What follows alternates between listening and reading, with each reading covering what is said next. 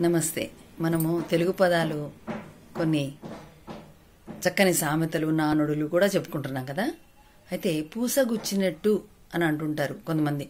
నేను చక్కగా పూసగుచ్చినట్టు చెప్పాను అయినా వాళ్ళకి అర్థం కాలేదు అంటారు కొందరు. అంటే ఏంటి పూసగుచ్చినట్టు అంటే అంత క్లియర్ కట్గా అనమాట అంటే అంత ప్రతి విషయాన్ని కూడా కూలంకషంగా పూర్తిగా ఎక్కడా కూడా విడవకుండా చక్కగా పూర్తిగా అర్థం చేయించినట్టు చెప్పడం అనమాట దాన్ని పూసగుచ్చినట్టు చెప్పడం. అంటే జరిగింది జరిగినట్టుగా చెప్పడాన్ని పూసగుచ్చినట్టు చెప్పడం అంటారు.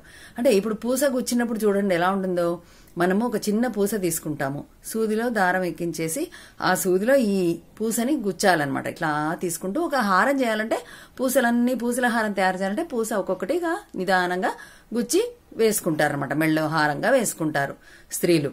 అలాంటప్పుడు దాన్ని మరి పూస గుచ్చినట్టు అని అంటే అంత చక్కగా దాన్ని ఒక ఏకాగ్రంగా చేస్తే ఒక్కొక్క పూస సరిగ్గా ఆ యొక్క దారంలో చక్కగా కూర్చోగలుగుతుందో మాలలాగా తయారవుతుందో ఆ విధంగా అనమాట అంటే పూసగుచ్చినట్టుగా ఉండాలి. ఏదైనా చెప్పినప్పుడు ఒక విషయము పూసగుచ్చినట్టు చెప్తే అంటే ఇంకంతకంటే వివరణాత్మకం ఇంకేం ఉండదనమాట అది దాన్ని వివరంగా చెప్పారు అంటే తొందరగా అర్థం కాదు జనాలకి.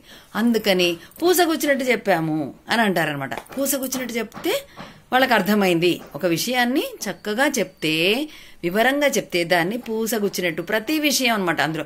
నువ్వు వెళ్ళినప్పటి నుంచి ఒక కార్యం సాధించుకొని వచ్చే వరకు ఏమేమి దాంట్లో అంశాలు ఉన్నాయో అవన్నీ కూడా నువ్వు తెలియపరుస్తే దాన్ని పూసగుచ్చినట్టు చెప్పావన్నమాట ఒక విషయాన్ని. అది ఇక్కడ అర్థం చేసుకోవడం. ఇలా మన తెలుగు నానుడులు చాలా చాలా ఉన్నాయన్నమాట.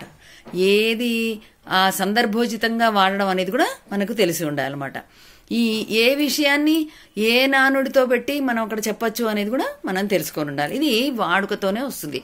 కనుక తెలుగు భాష మాట్లాడుతూ మాట్లాడుతూ ఉంటేనే మనకు ఇవన్నీ కూడా అర్థమైపోతాయి అన్నమాట. ఇది ఇవాళ మనం పూసగుచ్చినట్టు అనేటువంటి నానుడిని మనం ఇవాళ తెలుగు క్లాసులో చెప్పుకున్నాం.